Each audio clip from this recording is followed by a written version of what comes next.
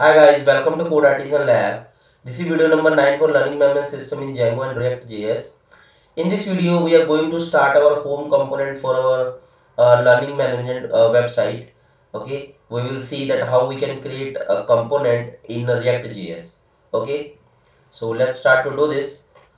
So here I have uh, opened the source folder. If you if you remember the previous video, then uh, we have these uh, folders that node modules public and src source.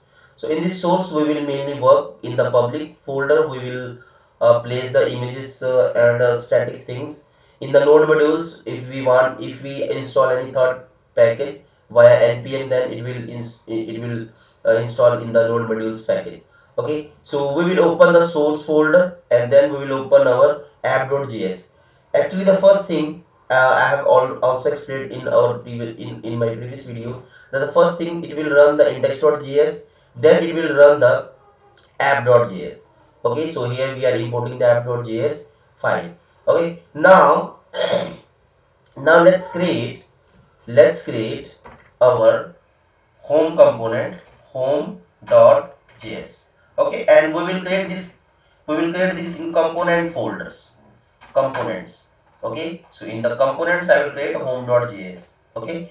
And in this uh, what i will do i will just simply copy this thing app and paste it here. Okay? And here i will remove the these things and just add function app. Uh, this will be home. Not app this will be home. Okay? So this is functional component. In the in react.js you can create component uh, two types. One is functional and another is another is uh, class based. Okay we will see also class based and uh, we will also see that what is the difference between the functional and class based component.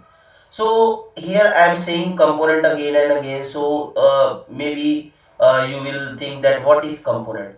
So you can you can say component is a component is a smaller parts of the uh, of the whole thing okay let's say uh, this is our website. Okay so this is our header component you can see. This is our uh, timeline component you can say and these these are our video blocks component. Okay these are running in loops.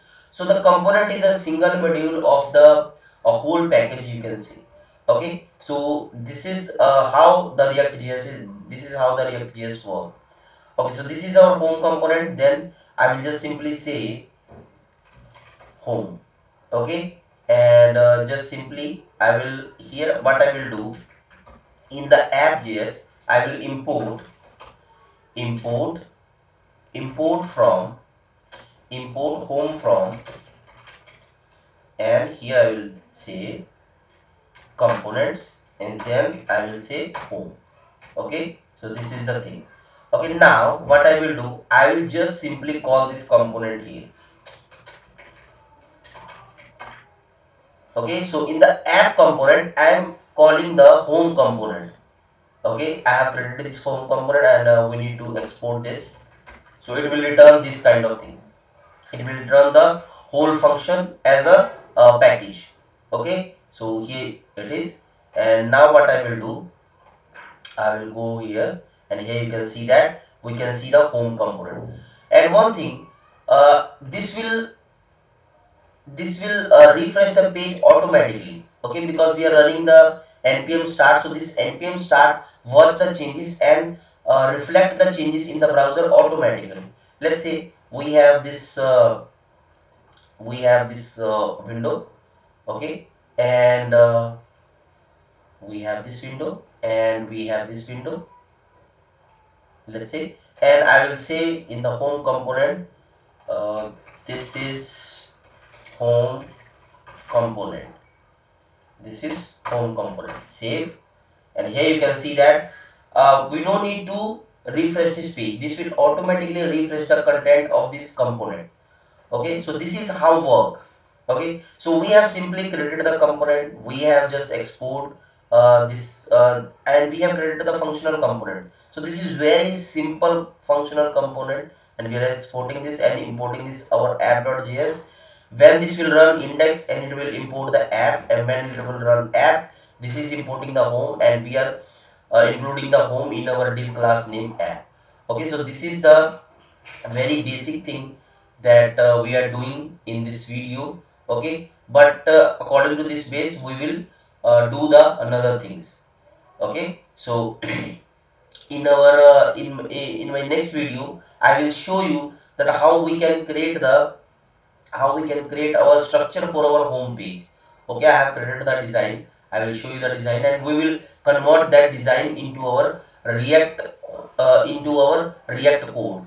Okay i will show you. Okay we will discuss lots of things we will discuss in this project like life cycle. Uh, we will discuss when we will work about the when we will work in the functional component then we will discuss about the hooks. When we will work on the class based component then we will discuss about the uh, properties we will discuss about the uh, state management and all the things. Okay we will uh, cover we will cover almost everything in react.js in this project. Okay so i hope you will enjoy this uh, you are enjoying this project and you will um, uh, like this series and thank you for watching this video and please like share subscribe this channel and thank you so much for watching this video